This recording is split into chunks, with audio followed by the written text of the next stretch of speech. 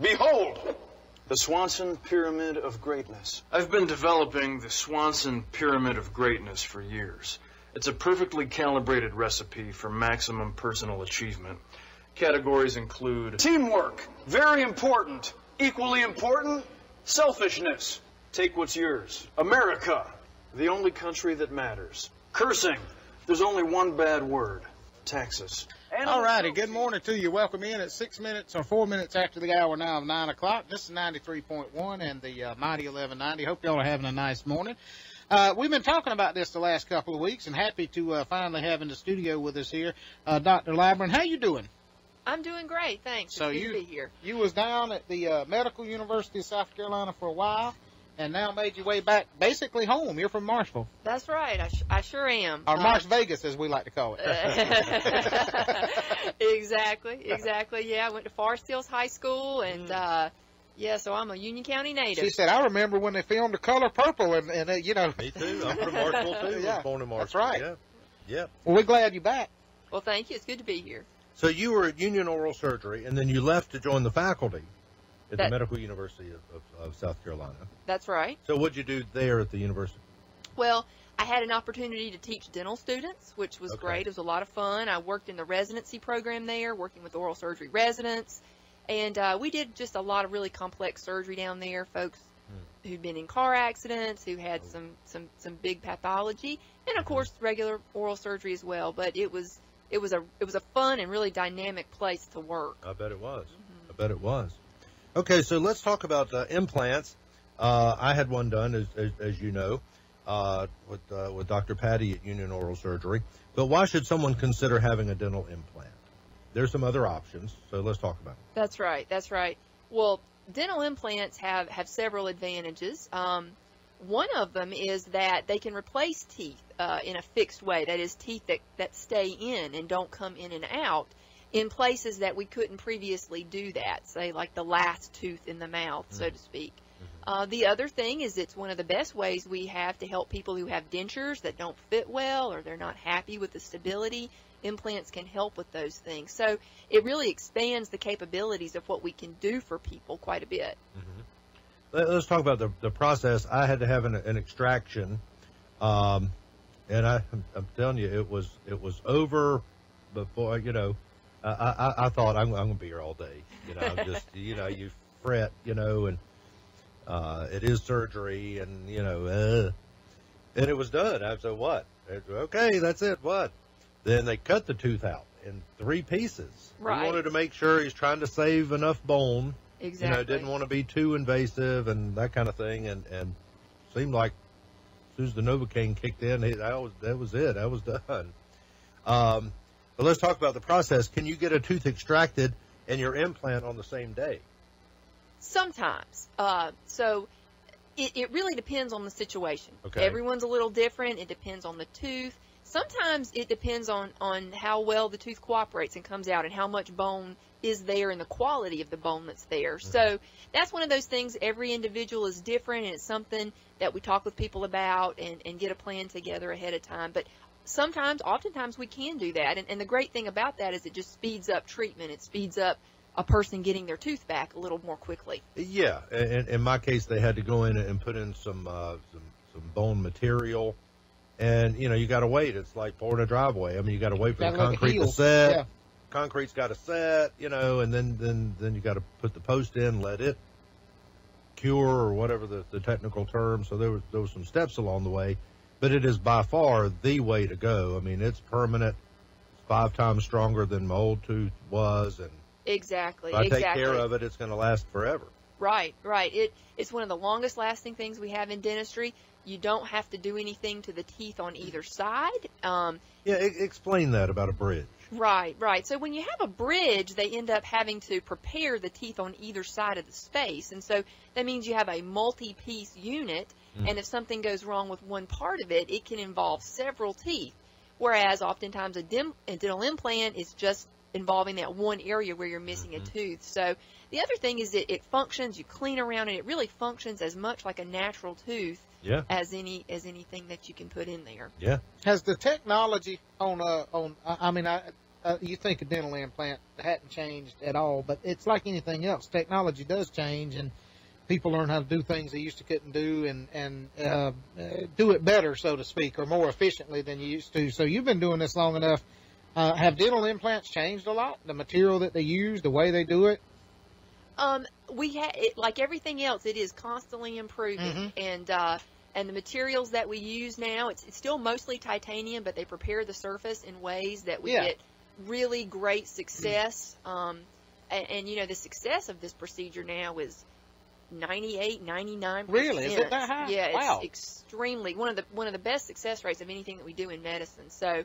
It's uh you know it, it really works well and and we've been able to improve the technology to the point that we can help just about everyone with dental implants. I'll You know, mine was uh, just not knockwood. Mine was absolutely perfect. I mean, when when they put the crown on, everything matched. It was just It's like But, uh, a it's like you a know, carpenter building building it, something and then like, it it being. like, like Dink Taylor level fi- and finishing up the project. Yes, I told Archie he should just the one right above it or below it just get it done for no reason. You could crack hickory nuts. Them things, you know, five times well, stronger than as real it turns teeth. out, my tooth below the implant There you go. was cracked, See, and I had to get a crown on it. repeat So- customer. So yeah.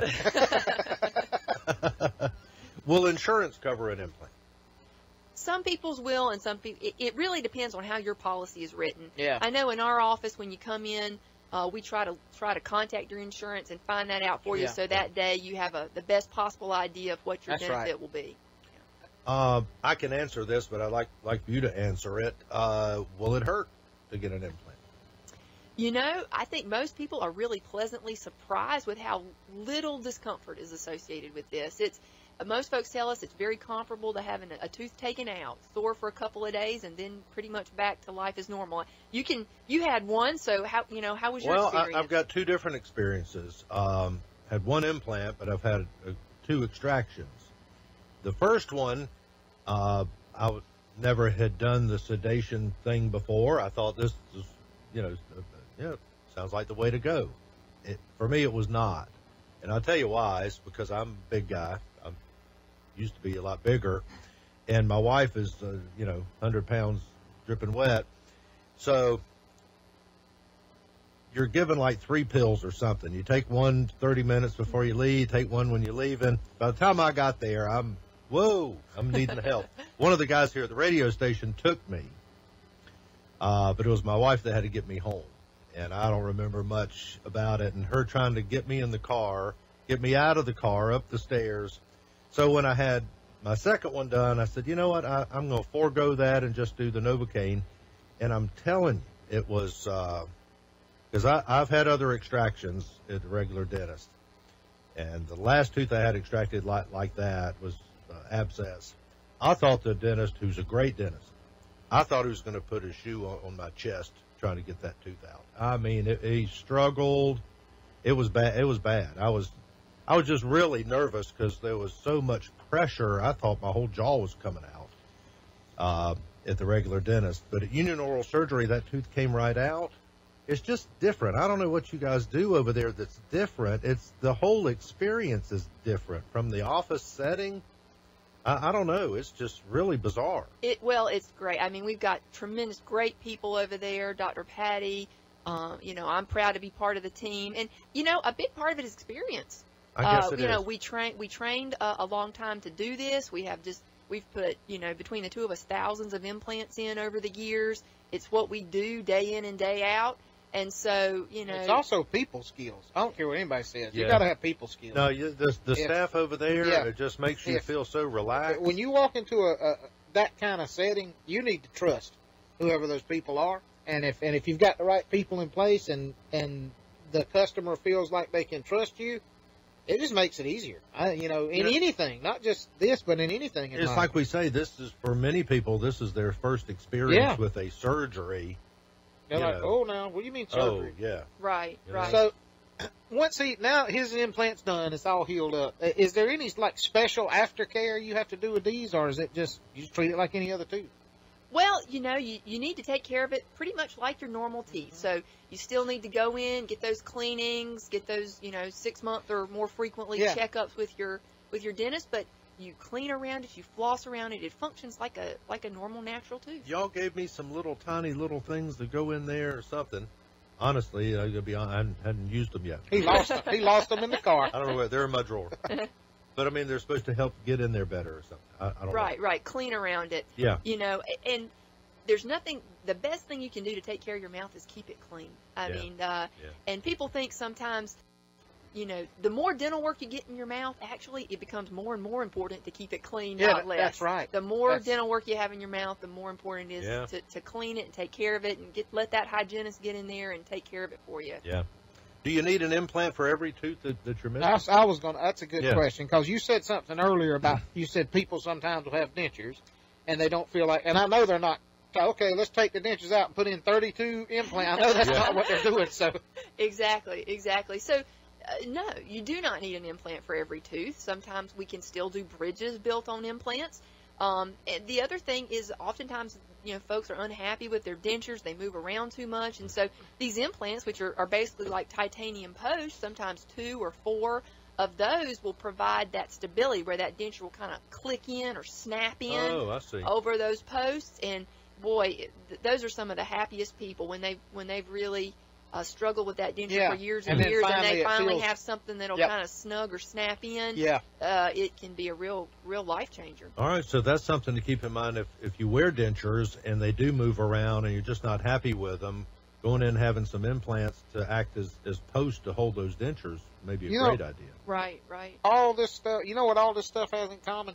Hmm. You need to go. I mean, honestly, I'm I'm not. I mean, there's a lot of people uh, that don't take the best care of their teeth. You're young and you feel like, hey, I'm fine, nothing wrong with me, and then you get older and you finally say, God, I wish I'd took care of my teeth. You know, when I was a teenager and through my 20s, and you wouldn't have as much to do now. You know, Uh, but that's just life. That's, no, no, what Shane said is, is is so true. You know, as kids, we're told, you know, brush your teeth, Mhm. floss, all that. Yeah, yeah.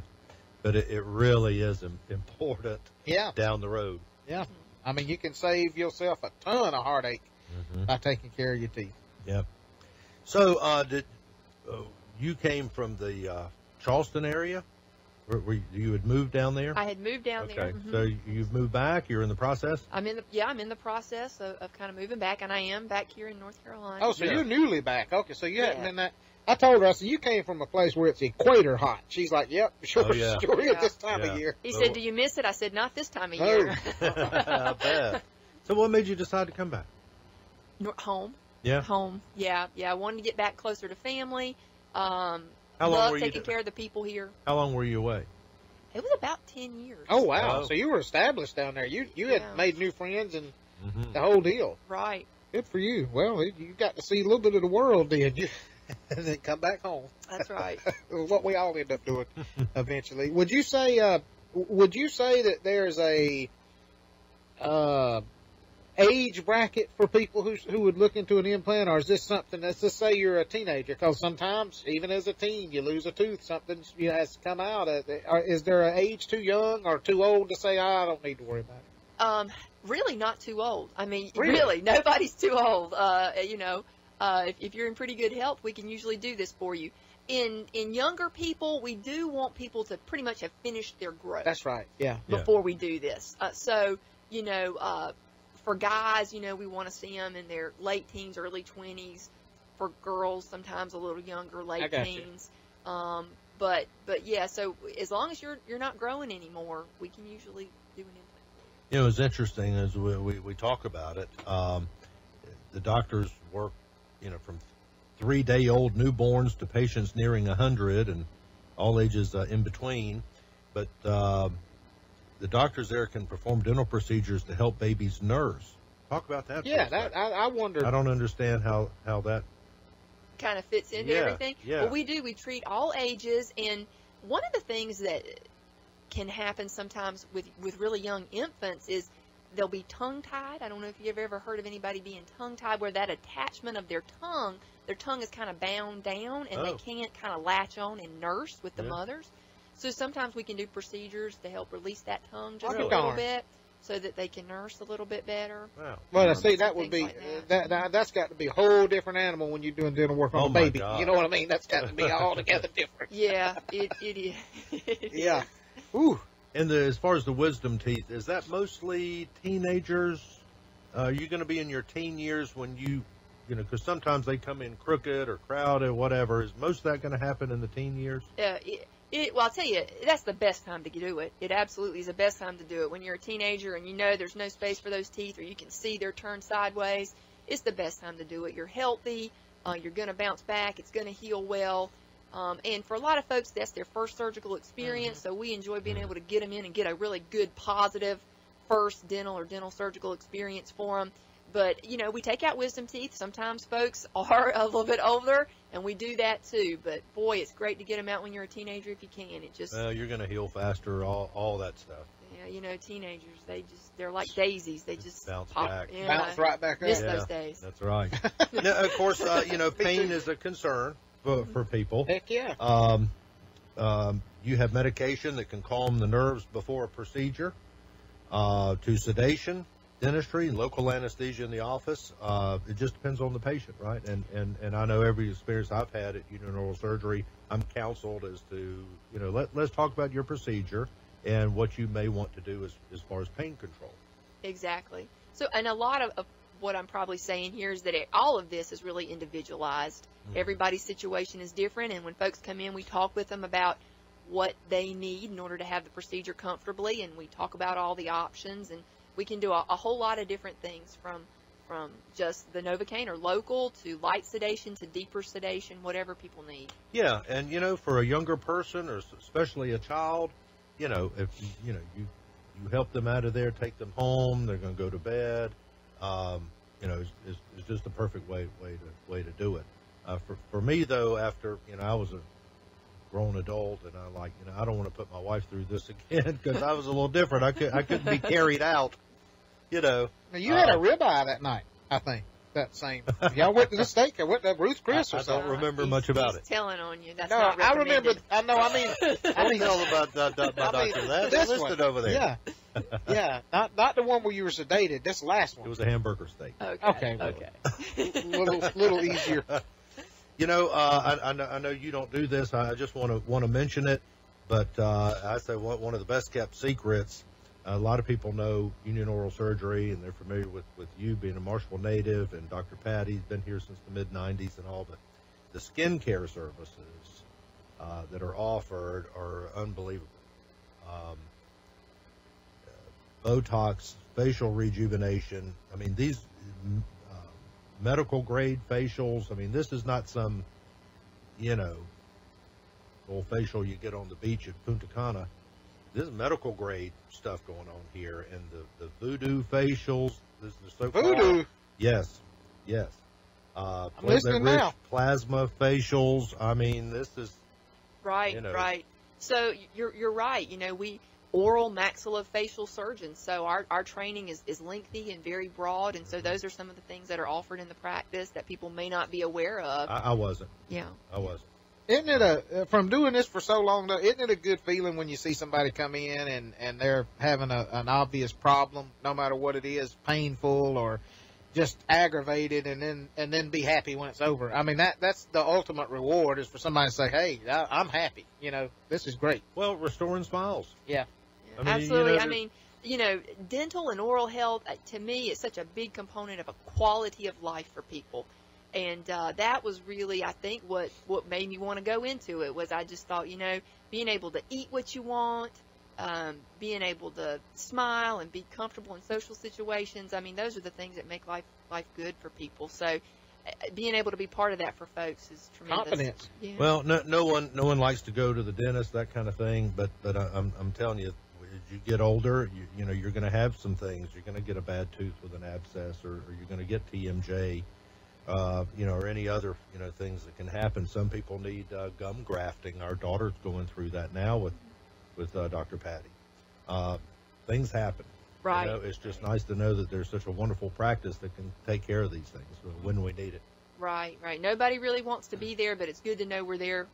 They're they're happy. They're happy to see us when they need us. Well, That- I- that's true. I, I really though still wish y'all could have got Archie's in chrome. I, I just I was really really hoping to see chrome or some kind of pearlescent, you know, red, just something out of ordinary. But he chose the And, and the other thing is too, y- people think this. They think, okay, is this thing gonna stick out like a sore thumb? Is it gonna be white as you know cotton and when the rest of? And it's actually not. They actually match it to Oh, it's, your it's- teeth. It's it's kind of amazing at how close it is.